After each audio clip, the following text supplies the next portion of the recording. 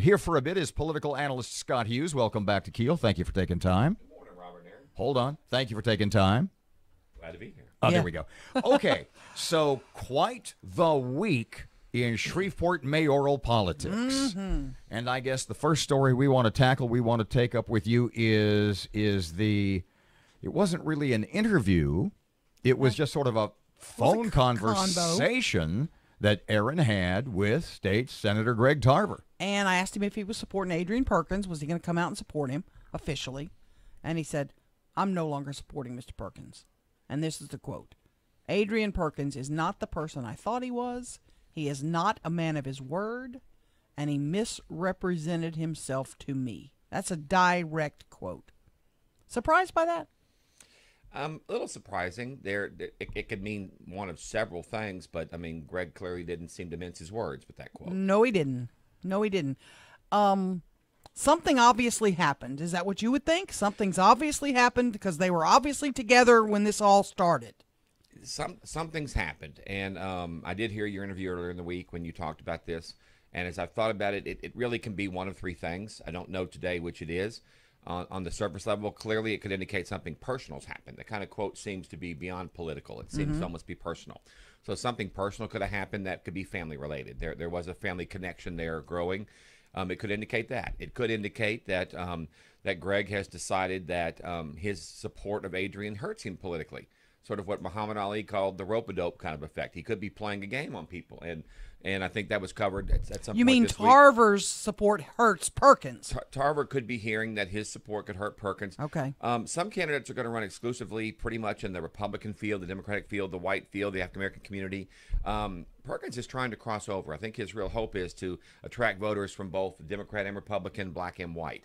And um, Tarver's support might hurt him in one of those camps. So Greg may be playing a political ploy, although the words sound a little harsh for that.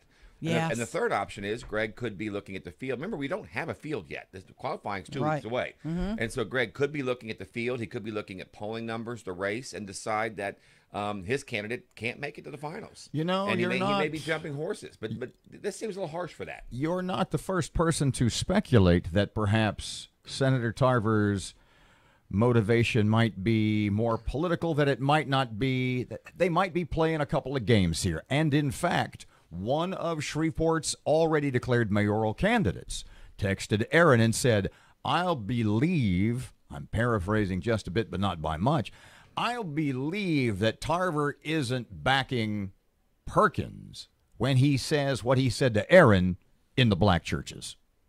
Well, and, and I heard that I heard that comment earlier. What, what I'll say is, I haven't talked to Greg. I, as, as I've been out of town for a couple days, so I have not had a conversation with Greg. Um, I'll believe that Greg has changed horses when he publicly comes out and says who's he's supporting. I think until that point, it's just going to be speculation.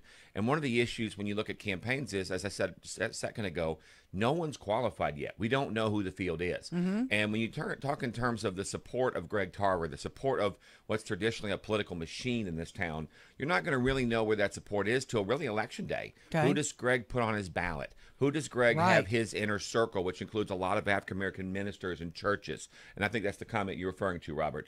Um, until you hear Tarver openly say, I'm supporting this person, anything can be mended. In today's politics, um, particularly the national politics, but if you bring it back down home, there's almost nothing you can say anymore that you can't undo. And so, as as this is this is two weeks before qualifying, and we're hearing all this, but we could wake up back, you know, coming up in October, and we could be in a whole new situation. Problems can be rectified. Let me ask you. Let's run through the list then. You say Tarver could pick one of the other horses in the field. Re- how realistically could he pick Ollie Tyler? At this point, I don't think he'd pick Ollie Tyler. I, th- I think he may have supported her quietly the, the last election.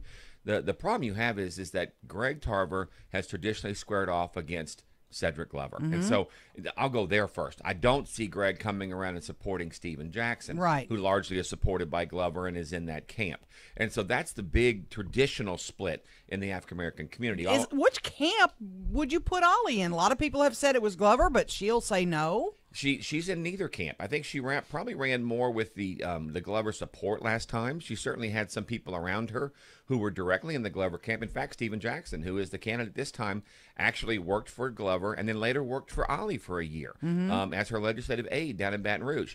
So I don't think that Tarver's going to go in with Glover. They have they have been at odds way too long, all the way back to Alphonse Jackson, Lydia Jackson's dad. That that that split has been there. So I don't think he's going. He could go with Tyler. Tyler.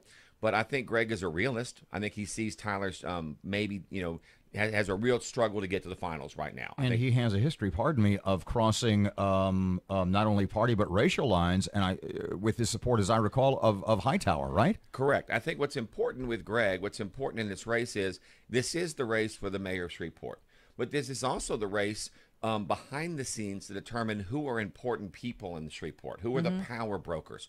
And um, as you just mentioned, uh, I think Greg has a long history of not really caring who the mayor is, not really caring if they're Republican, Democrat, white, or black. What he ends up caring is, am I the most powerful person in my community? As And I- long as he has the mayor's ear. Correct. And so I, I think that you could look across the, across the aisle, so to say, in this race, and you have candidates over there.